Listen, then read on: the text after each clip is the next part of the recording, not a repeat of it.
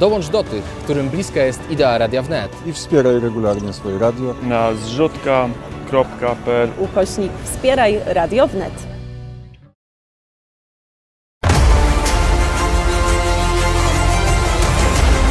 Kurier ekonomiczny. Sponsorem kuriera ekonomicznego w Radiu Wnet jest PKO Bank Polski. Przy mikrofonie Adrian Kowarzyka z nami jest już Tomasz Wrublewski, Warsaw Enterprise Institute, dziennikarz, publicysta. Dzień dobry. Kłaniam się, witam. 13 dzień inwazji Rosji na Ukrainę, kolejne transze sankcji na Rosję. I z jednej strony rozpoczynający się niejako bojkot konsumencki zachodnich firm, które nadal działają na terenie Federacji Rosyjskiej, a z drugiej strony koncerny, które nadal handlują ropą czy gazem, a pomiędzy nimi banki jak choćby JP Morgan, który zachęca klientów do kupowania rosyjskiego długu w celu odzyskania strat. Co się dzieje, jeżeli chodzi o, o rosyjski rynek i o firmy zagraniczne y, handlujące w Rosji? No, mamy y, ogromne zawirowanie na międzynarodowych rynkach i tak może trochę od końca powiem, czy rzeczywiście w tej chwili ważą się losy, czy świat po kryzysie pandemicznym i covidowym z powrotem wejdzie w kryzys, tym razem taką głęboką stagflację. W dużej mierze jest to wynik kryzysu surowcowego, ponieważ e, no, przede wszystkim dotyczy to oczywiście ropy i gazu, ale również rzadkich metali, które sprowadzane są e, z Rosji i w większości były sprzedawane na giełdach w Londynie czy w Stanach Zjednoczonych. Mm, Dotyczy to również zaopatrzenia w zboże, które e, w większości było eksportowane zarówno z Rosji, jak i z Ukrainy, która z kolei przechodzi swój własny kryzys niezależnie od tego, że nie jest objęta sankcjami. I te ceny commodity prices, mimo że jeszcze do żniw daleko, e, oczywiście całkowicie się też załamały, jeżeli chodzi o towary żywnościowe. W związku z tym napędzane są ceny ropy, rosną e, paliwa, rośnie inflacja, natomiast siła zakupowa państw wcale nie wzrasta. I to jest jakby recepta na stagflację, coś to pamiętamy z lat 70. poprzedniego wieku, kiedy świat, zwłaszcza Europa, po kryzysie paliwowym stanął w miejscu i ta inflacja, rosnące ceny nałożyła się na spadek e, produkcji i zastój gospodarczy. To niezależnie od oceny naszej, tego jak zachowuje się Rosja, co dzieje się na Ukrainie, która dość jest jednoznaczna na świecie, to powoduje cały ciąg zdarzeń, tak jak domino.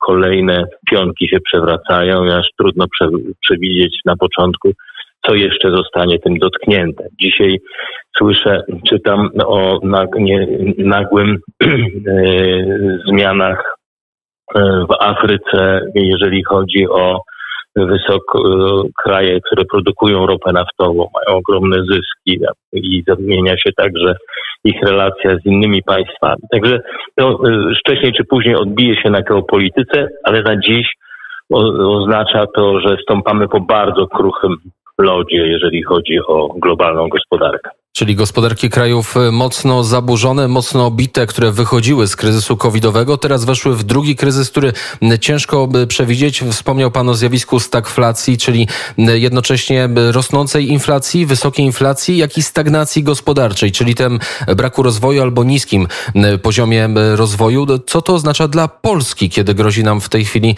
wydaje się, że ponad już 10% inflacja? No, nad nami ta, ta burza rzeczywiście się zbiera. Jest ileś elementów. Raz, że jesteśmy blisko tego konfliktu i samo już mówienie o tym, że y, mogą, Polska może przekazywać y, samoloty do, y, dla wojsk ukraińskich, co z kolei mogłoby się spotkać z jakimś dalej idącym odzewem Rosji. Czy się spotka, czy nie, czy to blef, to jest inna sprawa, natomiast rynki na to e, reagują, czyli jesteśmy tym terenem e, zagrożonym. Polska również zakłada się, że będzie miała ogromne wydatki. Będzie musiała wydawać pieniądze na pomoc emigrantom, będzie musiała wydawać e, pieniądze na e, stabilizowanie sytuacji politycznej, cały czas ma problemy z, nierozwiązane do końca. Pytanie jest, jak będą rozwiązane problemy z dostawami ropy i gazu. Także jest ileś elementów, które się zbiegają. Do tego także dość może nie to, że nieprzewidywalna, ale niespecjalnie udolna polityka monetarna, trochę spóźniona w działaniach, która już nas wpędziła wcześniej w inflację. E, I także Polska jest tutaj dotknięta ze wszech stron. E, oczywiście nie wybieraliśmy tej wojny i o nią się nie prosiliśmy, no ale jesteśmy jakby strony gospodarczej, e, no, dostajemy rykoszetem bardzo silnym. To są te negatywy, ale czy w tej sytuacji, oczywiście wojna, wojna na Ukrainie, giną ludzie, ginie, giną całe miasta, ludność cywilna, ale jeżeli chodzi o, o Polskę, ponad mi, milion uchodźców, uchodźców z Ukrainy, prawdopodobnie te liczby się będą zwiększać. Demografia problem, który, który trawi, mhm. trawi nas od, od dziesięcioleci. Wiemy, że za jakiś czas będzie brakowało rąk do pracy, więc czy to jest może jakieś wypełnienie tej luki demograficznej, która była wieszczona była jako problem Polski? No, to będziemy się musieli podliczyć za jakiś czas. Na dzisiaj to rzeczywiście mamy, wystarczy wyjść na ulice warszawskie i zobaczyć, jak się zmieniła struktura językowa na chodnikach i jak słychać język ukraiński, widać także y, po strukturze wieku, że w dużej mierze to są osoby młodsze, mm, także niewątpliwie jest ta zmiana. I ile z nich zostanie w Polsce i z nich pojedzie na zachód, dopiero się o tym y, przekonamy. Co jest ważne w takich wszystkich kalkulacjach demograficznych, to nie tylko ilość tych ludzi, ale także ich zaangażowanie w gospodarkę. I tutaj takim znajdujemy się w krytycznym momencie, jeżeli chodzi o decyzje państwa i z bardzo dużą uwagą my tutaj w Warsaw Enterprise obserwujemy te wszystkie przygotowania do ustawy. E, wysoko oceniamy propozycje e, dotyczące stworzenia możliwości podejmowania pracy, zaopiekowania się dziećmi, tak żeby dzieci mogły chodzić ukraińskie do polskich szkół, do przedszkoli, jak naj... te wszystkie elementy integrujące społeczeństwo i jednocześnie y, starające się wprowadzić jakąś normalizację w ich życiu, są świetne i doskonałe. To, jak zachowuje się Polski Bank PKO BP na przykład, oferując konta Ukraińcom i rzeczywiście załatwia to w ciągu 15 minut sprawnie. To, to pozwala im założyć ePUA, PESEL. No, to, to są rzeczy, których e, nie udało się e, stworzyć w większości państw europejskich w 2015 w czasie tego kryzysu migracyjnego. Odebraliśmy tą lekcję. Bardzo dobrze. Pojawia się jednak w projekcie taki zapis 40 złotych dla osób, które przyjmują emigrantów za każdą osobę za jeden dzień. To jest bardzo groźne narzędzie.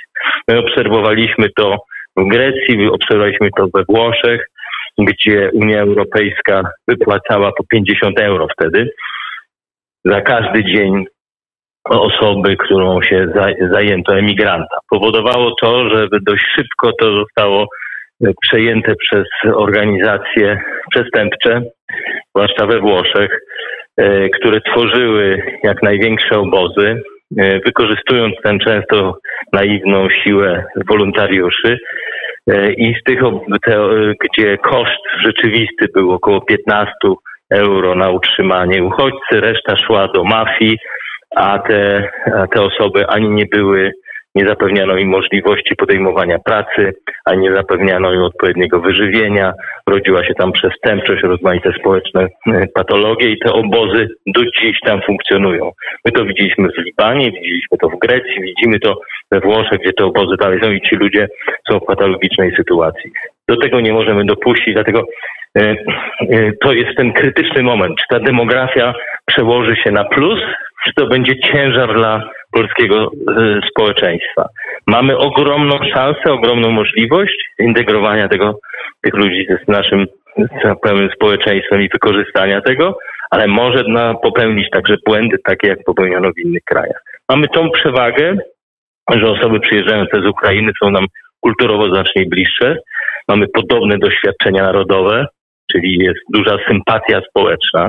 Te osoby są przyjęte z akceptacją społeczną, co, często nie było w przypadku Włoch czy Grecji. E, także to są wszystko y, przewagi, które mamy, ale bardzo łatwo można je zmarnować. E, to prawda, jeszcze e, wróćmy e, do, do tematu, który poruszyliśmy na początku, czyli bojkot konsumencki. Wiele mhm. osób zapowiada bojkot firm, które albo cały czas działają w Rosji, korzystają z tamtejszych zasobów, bądź wręcz handlują z Rosją, tak jak na przykład niektóre koncerny paliwowe kupują ropę. Na ile taki bojkot jest w ogóle istotny dla dużych firm, dla korporacji na jak długa jest pamięć konsumentów? Bojkoty co do zasady średnio działają i one się nie sprawdzają jako narzędzie do regulowania y, zachowań gospodarczych ani y, budowania efektów. Natomiast bojkoty, bojkot to jest działalność wizerunkowa. No i, y, I ona nie tyle ma uderzać w te firmy, co ma uderzać przede wszystkim w Rosję. Ma pogłębiać poczucie izolacji i oderwania pogłębiać sytuację, że Rosja czy rosyjscy przywódcy będą widzieli, że coraz trudniej jest im się przebić do własnego społeczeństwa z tą retoryką, że jest to e, wojna pokojowa, czy że jest to działanie na rzecz wyzwolenia e, własnych rodaków na Ukrainie. E, w Rosji marka jako taka, czyli marki takie jak Coca-Cola, jak Apple, jak Microsoft, jak jeansy Levi's czy inne produkty, to jest bożyszcze. Tak? My też lubimy w Polsce, wszędzie na świecie pewnie e, dobrej jakości ubrania, samochody e, markowe i e, nawet jedzenie markowe, ale w Rosji to jest kościół. To tak naprawdę ci ludzie traktują możliwość dostępu do marek jako coś, co określa ich świadomość i tożsamość i miejsce w społeczeństwie. To jest ich kościół. I teraz odcinając te marki, pokazujemy, jak bardzo zmienia się ich życie, jak odcięte jest od tego, co było dla nich e, najważniejsze. Pytanie, Także czy to jest wystarczające, to jest... aby dokonać dużych zmian politycznych w Rosji? Tego nie wiem, ale y, to jest y, działanie przez tysiące cięć, tak? Nie, drobnych nacięć. Nie zarówno i SWIFT, jak i e, mm, torpedowanie działań Centralnego Banku e, rosyjskiego, jak i drobne sankcje nakładane na sportowców, na aktorów, na wymianę handlową. We wszystkich miejscach, gdzie jest, jeżeli ktoś jest Rosjaninem, się odwraca, to czuje się odizolowany. Tylko z tego jednego powodu, że dopuszcza się zbrodniczych działań przeciwko e, narodowi ukraińskiemu. No dobrze, to jeszcze na koniec. To... Jak ta izolacja mhm. w takim razie wpływa na polską gospodarkę, na Polskę, na powiązania z firmami, na kapitał, który tutaj przebywa, który odpływa od nas? Jak te sankcje uderzają w nas niejako rykoszetem? No, same sankcje nie, nie uderzają w Polskę, yy, oczywiście. Natomiast no ale y, uciekają Polska inwestorzy z rynku. Y, sankcje są tak. na Rosję, ale inwestorzy zagraniczni nie wiedzą do końca, gdzie na mapie jest ta Polska. Biorą to w jeden kosz. Powodów. Tak jest. Tak, z kilku powodów. Raz to tego, co mówiłem na początku, takiego mm, poczucia zagrożenia, znaczy, że znajdujemy się w strefie rażenia i że nie wiadomo, co tutaj się stanie i lepiej schować swoje pieniądze na jakiś czas. Dwa, y, że na przykład fundusze inwestycyjne, ETF-y, które zbierają inwestycje z całego rynku, z całego obszaru, na przykład y, gospodarek y, wznoszących się, gdzie również znajdują się polskie podmioty, polskie firmy, polskie instytucje i rosyjskie, są postawione przez ścianą, pod ścianą przez swoich inwestorów, którzy mówią, że chcą deinwestować, chcą się wycofać e, z rosyjskich firm inwestycji rosyjskich. Problem w tym, że e, rząd rosyjski zabronił e, sprzedawania czy oddawania pieniędzy za sprzedane obligacje czy akcje firm rosyjskich, wysyłania tych pieniędzy z powrotem na zachód. Fundusz taki w Stanach Zjednoczonych czy w Europie, kiedy dostaje polecenie od swojego klienta, że chce deinwestować, musi deinwestować, musi oddać mu pieniądze. Skąd bierze te pieniądze? Z innych e, inwestycji, czyli na przykład w e, firmy polskie, bo one znajdują się w tym samym kotle.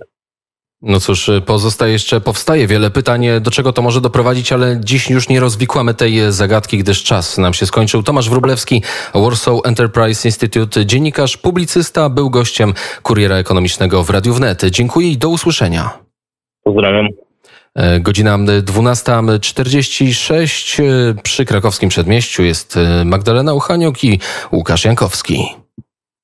Ja nie, jeżeli mnie słyszysz, jeżeli mm, redaktor Wróblewski mnie słyszy, to może zadajmy jeszcze z dwa pytania, bo mm, parę ważnych kwestii Już padło. się nie uda, już, się, nie, uda, zadać pytania. Redaktor uciekł do kolejnych e, działań. Tomasz Wróblewski, Warsaw Enterprise Institute I prowadził Adrian Adrian Kowarzyk. Kowarzyk. Dziękujemy Radio. Adrianie i do usłyszenia. Dziękuję, do usłyszenia. No. Kurier ekonomiczny. Sponsorem kuriera ekonomicznego w Radiu Wnet jest PKO Bank Polski. Wspieraj regularnie swoje radio na zrzutka.pl ukośnik Wspieraj Radio Wnet. Już od 12 lat robimy radio, a tworzycie je przede wszystkim Wy, słuchacze i przyjaciele Radia Wnet. Bardzo dziękujemy za Państwa dotychczasowe wsparcie. To tylko dzięki niemu udało nam się stworzyć tak silną społeczność i tylko dzięki niemu wciąż możemy się rozwijać.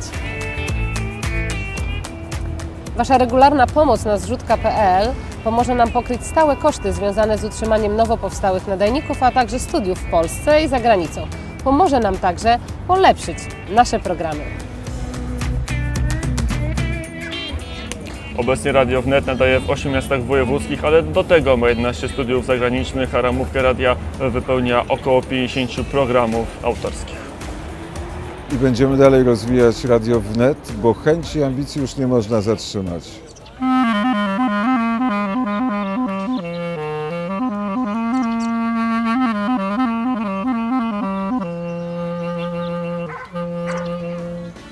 Dzięki regularnej pomocy od naszych słuchaczy będziemy mogli kontynuować główną misję radia jako źródła informacji z Polski, ze świata i z kosmosu w moich audycjach.